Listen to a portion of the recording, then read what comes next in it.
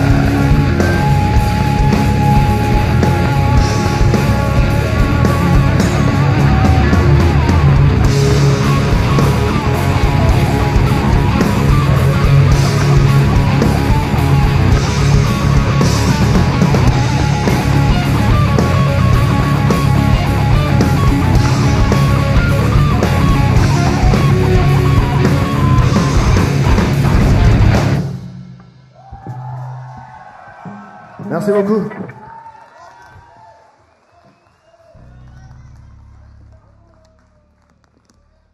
Called an echo. Echo.